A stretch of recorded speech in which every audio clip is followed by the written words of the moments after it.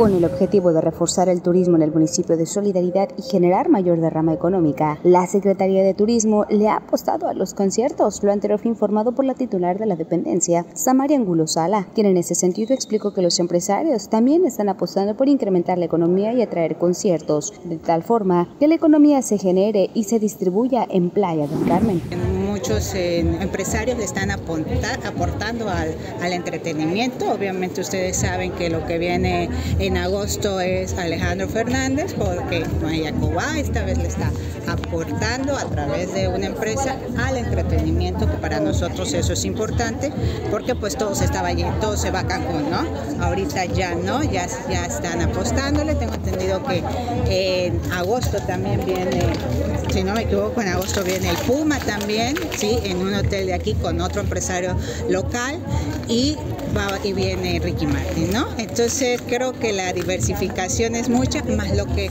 hemos pasado con la, con la feria del Carmen, que también hubo una cartelera bastante vasta y que hubieron también turistas allá, ¿no? ¿Sí?